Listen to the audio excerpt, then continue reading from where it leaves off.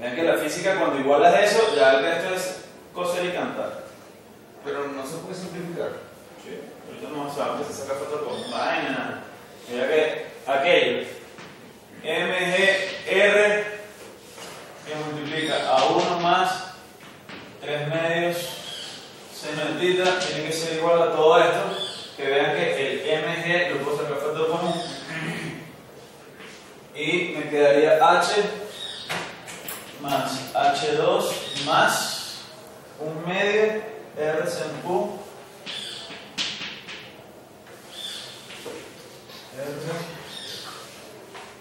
R saqué M saqué G R seno Q de tita ¿sí? y le quito MG MG medio M G R seno sí. M la masa de la gravedad se anula quedaría de este lado R si multiplique exclusivamente para empezar a despejar ahorita si quieres, no sé, eso ya depende de ti. R seno de tita, de lado ya tienes H más H2 más un medio R seno Q de tita. ¿Me pueden decir por favor quién era H2 ahorita? ¿Se acuerdan que H2 estaba representada con. ¿Se acuerdan? Por si acaso, ¿no? H, que es la que estoy buscando. Es más, vamos a hacer algo. Ya, ya, wait, wait, wait, wait. No, no, no. Yo no estoy buscando el H chiquita. Si me piden la altura, ojo, el H chiquita, ahí es si me piden la altura visto desde Ahí. este pan. La pregunta de la ejercicio es visto desde este pan. Y H más H2 es H3. ¿De acuerdo? Entonces no va a sustituir el H2 innecesario. Ahora, si quieres ver esa chiquita, sí pasas el H2 para allá restando y luego bla.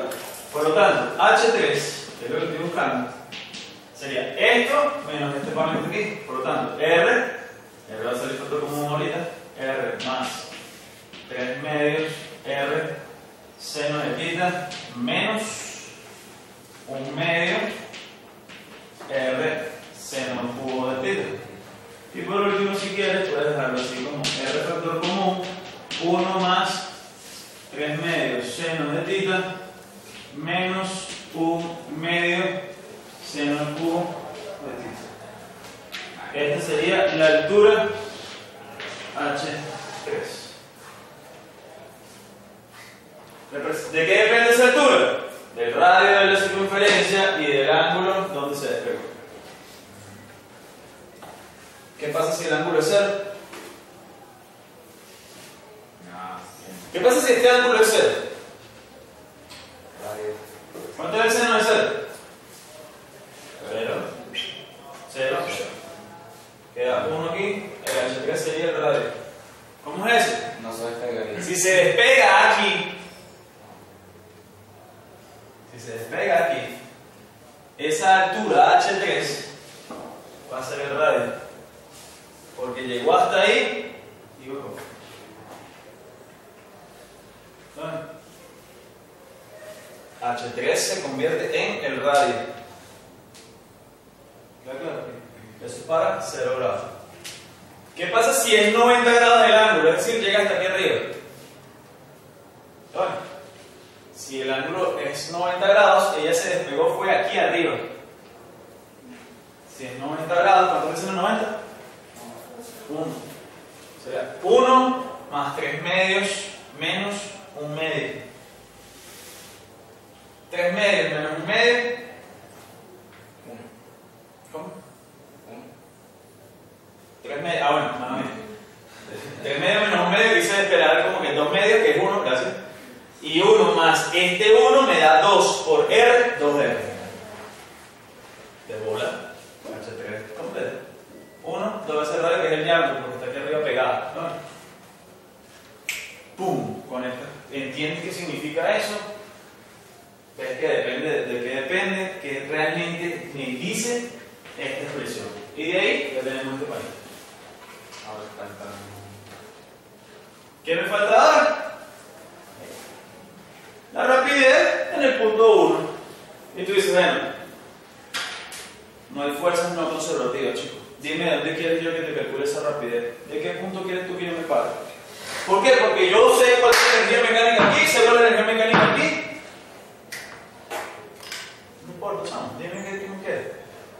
Punto inicial aquí, punto y final aquí. Plomo. O sea, ya, ya manejas la teoría, ya entiendes qué carajo estás haciendo. Porque ya de aquí, bueno, ¿hay roce? No. La energía se conserva. ¿Puedo trabajar desde aquí? Pero, pero es que desde ahí la, la expresión es como más fumada. Déjame trabajar mejor desde aquí entonces. La energía aquí es igual a la energía aquí. Despeja entonces la rapidez de aquí.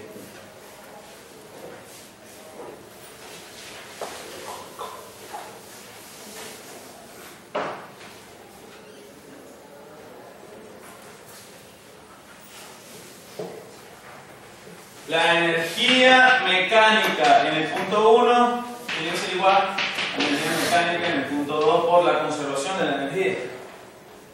Tienen que volver a escribir ahí toda la teoría fundamental. La variación de la energía mecánica desde el punto 1 hasta el punto 2 es igual al trabajo de la fuerza no conservativa. Eso es cero y escribes todo bonito para después representar que esto es así. En el punto 1, la energía mecánica es un medio de la masa por la rapidez en el punto 1 al cuadrado igual a la energía mecánica en el punto 2 que es el mgh2 más un medio de la masa de la rapidez 2 elevado al cuadrado porque tiene 500. Y ahí después, la rapidez 1 va a ser igual a quién? El 2 cuando pase multiplicando que me queda el doble, la m va a ser dividiendo, más las m las puedes cancelar, ves- vean que la rapidez no depende de la masa. Este, quedaría 2gh2 más la rapidez inicial del cuadrado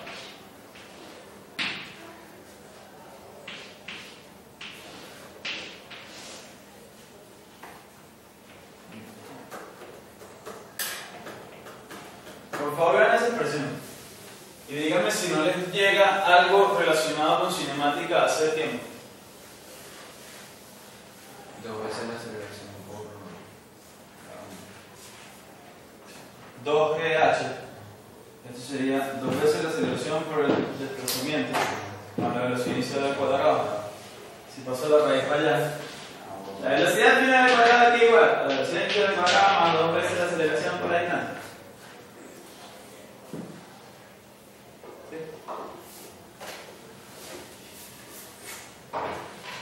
Y ahí lo agarra y dice, ese es el camino más corto, sustituyes aquí obviamente el h2 en función de r, no sé qué, sustituyes la, la rapidez en el punto 2 del cuadrado allí, para que te quede todo representado en función de los datos iniciales del ejercicio. ¿De acuerdo? Ya estoy asumiendo aquí en este punto que esto lo tengo y esto lo tengo.